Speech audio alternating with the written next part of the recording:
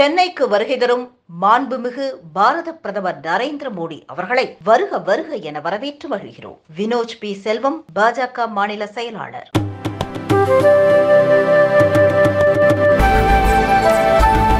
தேர்தல் வாக்குறுதிப்படி புதிய மாவட்டங்களை உருவாக்காமல் திமுகவை தடுக்கும் சக்தி எது என பாமக தலைவர் அன்புமணி கேள்வி எழுப்பியுள்ளார்.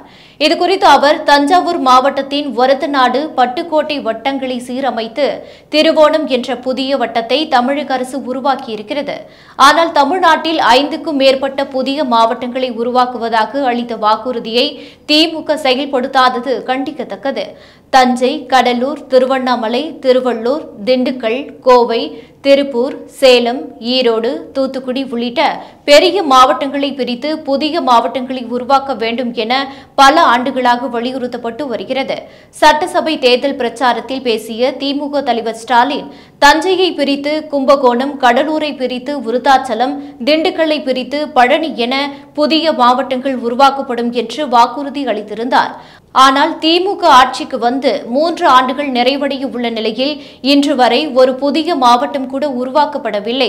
புதிய மாவட்டங்களை உருவாக்காமல் தடுக்கும் சக்தி எது என்பது தெரியவில்லை.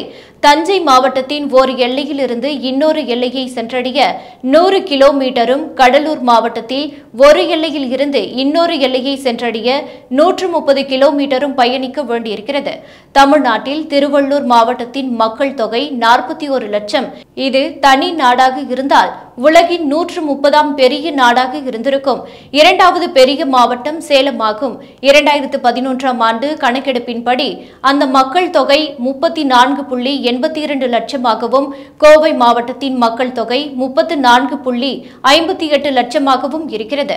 மக்கள் தொகை அடிப்படையில் பார்த்தால் இந்த இரு மாவட்டங்களும் உலகில் நூற்று முப்பத்தி மூன்று நூற்று முப்பத்து நான்காவது பெரிய நாடுகளாக இருந்திருக்கும்.